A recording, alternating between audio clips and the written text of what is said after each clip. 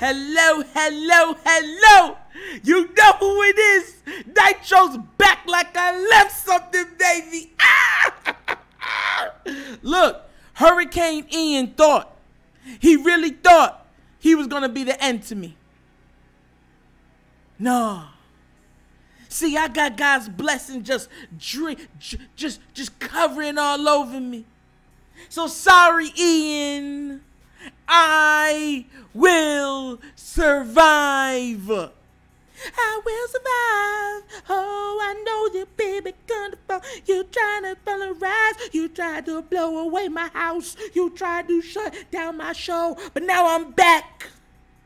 And I'm coming with more pole. Oh, I'll show you why. I will survive. Yo, check it out. Look, look, look, look. This is episode number 16. Yeah, of the Wunderkind show. So check this. What you hear in the background actually is a generator. My power is not back. 78% of Port Charlotte is still without power. It was like 97%, but they're working on it. So, right now, that sound in the background is the reason why you can still get this content. So, please ignore it. Be content. Yo. You feel me? But look, I've been gone for a couple days and we got some stuff to talk about. Lamar Jackson, which is, let's be real, my favorite topic to speak on, he's on pace for over 60 touchdowns. 60. 6 0. That would be an NFL record, I believe. What makes it even crazier is that he's on pace to beat the passing touchdown record also. Held by Peyton Manning. You'll remember that ridiculous year he had with the Broncos, right? Oh, I know you remember. Lost to the Seahawks. That was the only. Di- that season was amazing for that team, and the only true derailing of it was the loss and I mean, they got trounced by the Seahawks. But nonetheless, one of the greatest offensive outputs in NFL history, if not the greatest, we've ever seen. He's on pace to be that. and we're not even talking total touchdowns. Because if you talk total touchdowns, he's like at 68.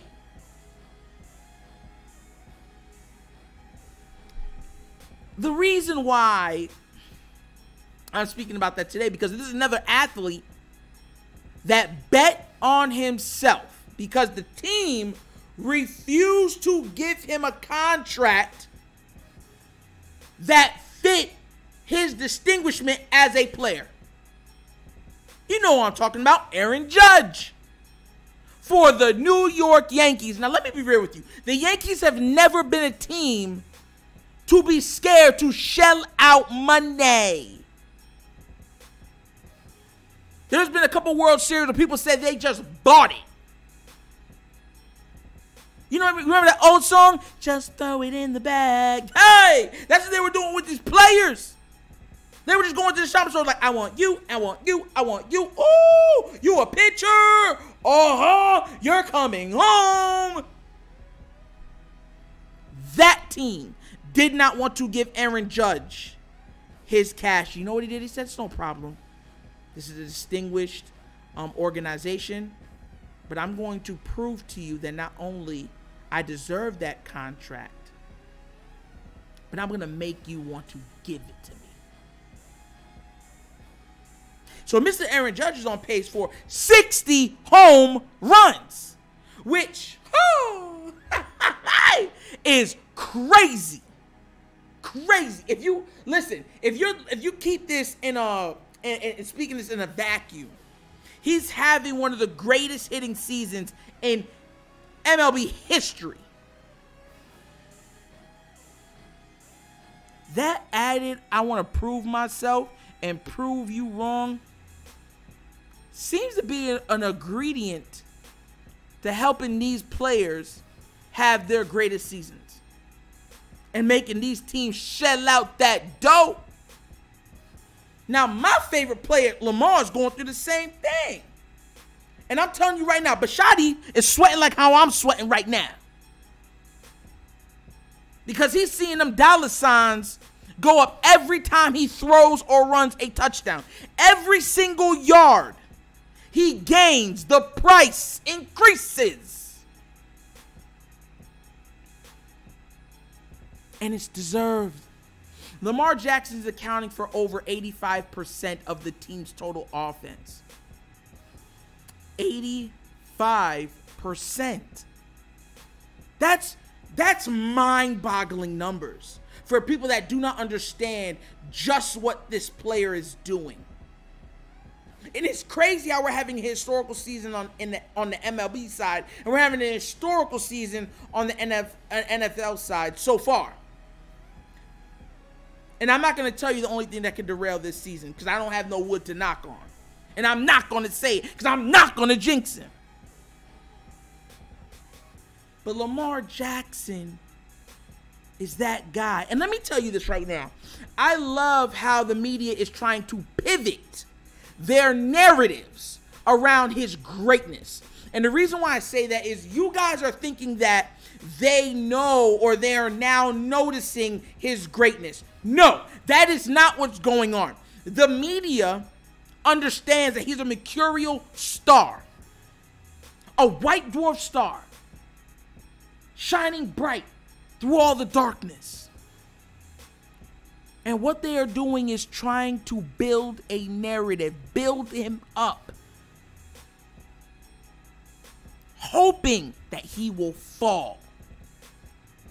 In other words, fail. That's what they're doing. You see, it's called hedging your bets. If they all see, they're oh my god, he's so great. Oh my god, he's an MVP. Oh my, oh my god, right? That's what they're doing. Oh, eight, eight, I made a mistake. You're great. But the first sign of a slip up, they will be there to pounce. Because everybody loves a hero. Everybody loves a hero. But you know what people love more than a hero? The fall of one. And trust me, that narrative writes itself. That's what they're hoping for. And even if that narrative doesn't come to pass, they can always say, We seen this coming. We were on the bandwagon. I see your tricks. What you thought? What you thought? Hurricane Ian blew debris in my eye? What you thought? I can't see? Wrong. I see clearly. I can see clearly now. The rain is gone. Yes. So I'm hoping. Here's the thing I picked him to be MVP before anybody. I showed you clips with Stephen A. Smith coming out of his own mouth saying that there is no way, and you know what, that Lamar Jackson will win MVP and that the Baltimore Ravens will win their division or even, for God's sake, go to the Super Bowl. Have you noticed how his tune has changed? Yeah. Because he's hedging his bet.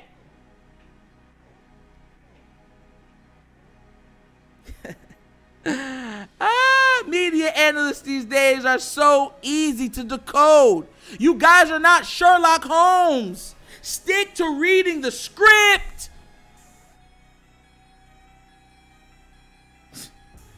ah, and shout out to Baltimore because we coming for the Bills on Sunday, 1 p.m.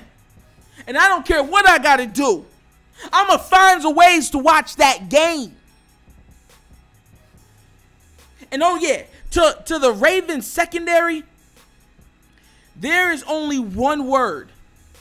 One word that describes how I feel with them going against Josh Allen. Survive. survive. Survive.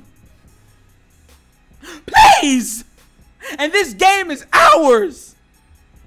Thank you for tuning in. Look, I'm back for the first time.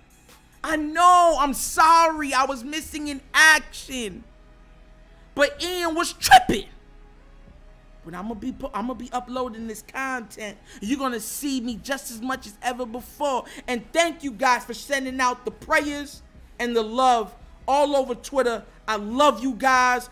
Thank you for showing up. Like and subscribe. And you know how I end these episodes because you knows my slogan. Peace. And I'm out.